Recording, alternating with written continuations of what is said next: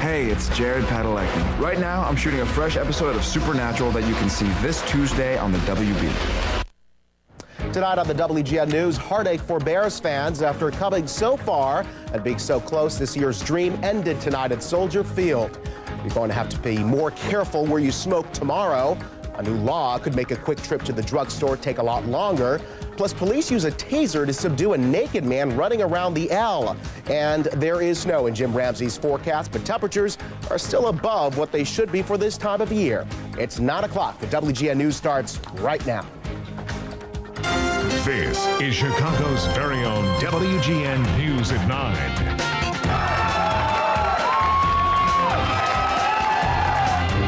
As they might, Chicago fans just couldn't push the Bears over the line and into a win. Another hopeful season comes to an end in the jaws of the Carolina Panthers. Good evening, everyone. I'm Jackie Bange. And I'm Juan Carlos Van Hool. The big story, of course, tonight is the Bears. WGN Sports Director Dan Roan joins us more with uh, more in tonight's disappointing game. Disappointing is Yeah. right, although a terrific season. Nobody can take that away from those guys, but uh, it didn't end up quite the way they'd hoped it would.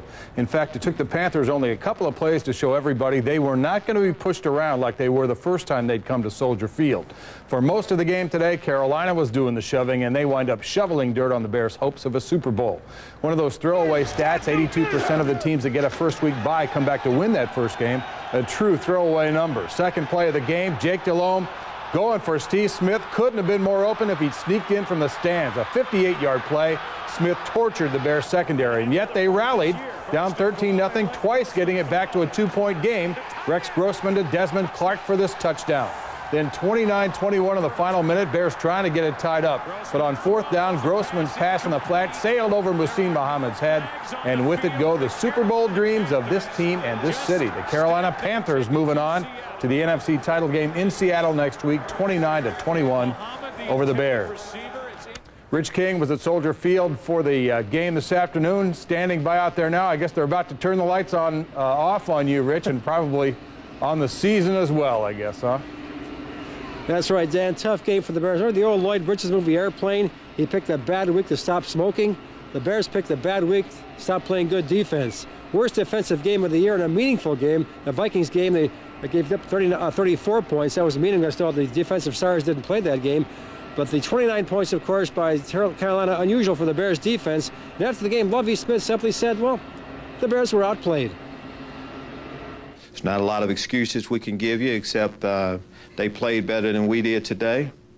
But again, we're going to use this as, a, you know, use this game as a as a time for us to build on and try to learn from as we go into next year. We lost as a team. You know, they scored 29 points, we got to score 30. Uh, that's just the way it goes. Um, we, we, we, we didn't do enough to win today. Well, Dan, the Bears also got bummed up in this game pretty good. A lot of guys injured. Mike Brown, the key loss early in the game, celebrating a stop on the goal line. He hurt his calf again. And you got to take give, credit- give credit to uh, Carolina. Steve Smith, 12 catches. And after the game, some interesting comments from Steve Smith. We were there on the field when he came off. We'll have that for you coming up in instant replay.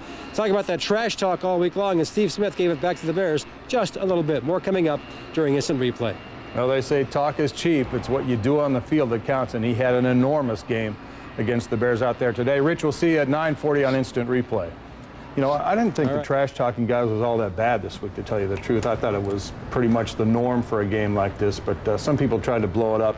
All that stuff doesn't make all that much difference once they get on the field. It's who plays the best that makes the difference, and today was Carolina. Yeah, we just assumed we would beat Carolina and the big battle would be Seattle. Well, I will say this, that Bears defense is going to be eating some humble pie in the offseason because they had talked a pretty good game and really didn't deliver today against Carolina. All right. But much more in instant replay as far as the football end of it goes. Okay, we'll see you later on. Thank you.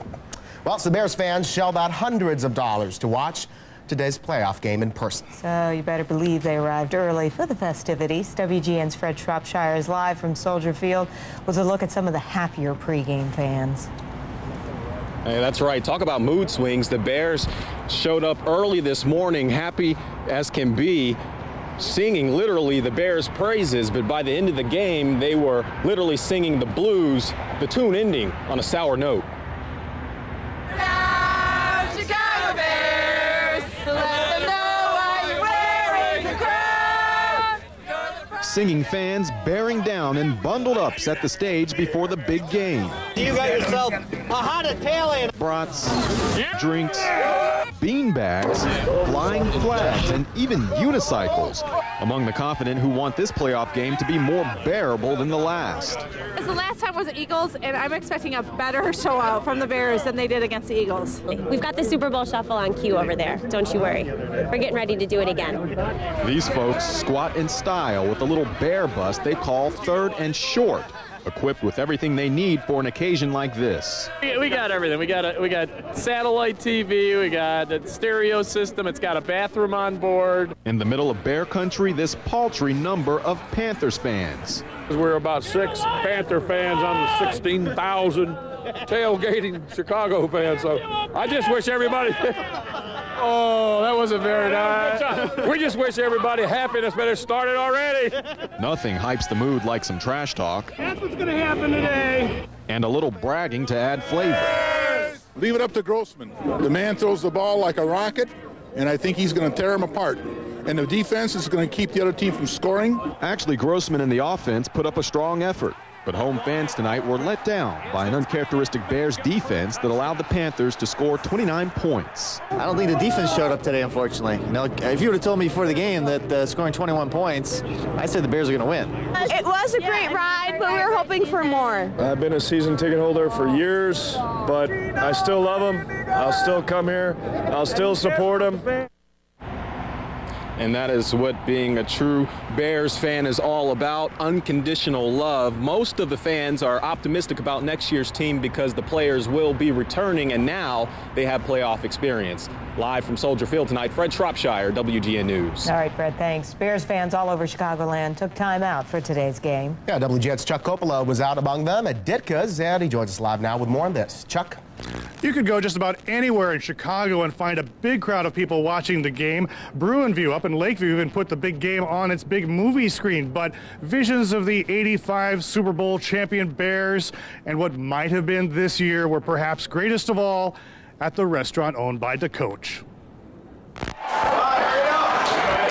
At Ditka's restaurant, they soon realized it was not to be. I'm just very disappointed, very disappointed. I've watched him all year long. I haven't missed a game. I made my reservations here three weeks ago.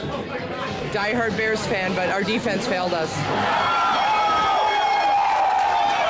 Just before halftime, it seemed promising as the Bears scored, but Carolina answered with another score of its own. It wasn't a great half at all. The defense played like garbage. I think Carolina's going to pull it out today. Yeah, but you got a couple of the Bears behind you here. Yeah, I know. I bought them the sweatshirt still. We haven't gotten any respect all year.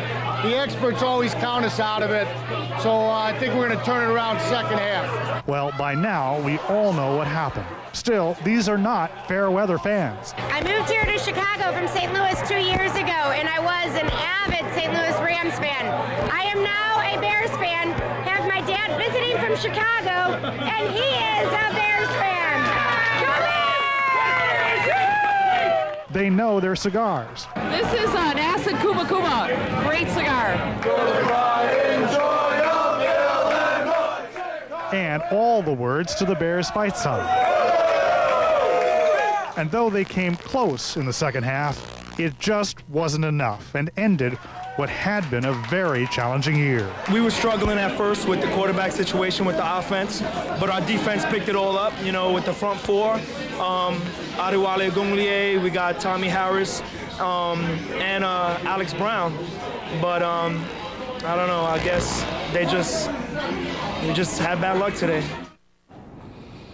Fans still may give Carolina credit. The Panthers scored against what had been a very tough defensive unit all year. Live outside Ditka's, I'm Chuck Coppola, WGN News. Yeah, big disappointment. All right, thank you, Chuck. Well, if you want to take a look back, the Chicago Tribune has set up a multimedia website with lots of information about this past season. The address is chicagotribune.com slash bears. Coming up on WGN News at 9, there are some things you need to know before you take a smoke break tomorrow. On what would have been Martin Luther King Jr.'s birthday, his widow makes a surprise public appearance. And if you think Italian beef would make a good appetizer, a new restaurant might be just your taste. Hmm. And I'm Jim Ramsey in the Weather Center. Today's high temperature 16 degrees above the normal for this state.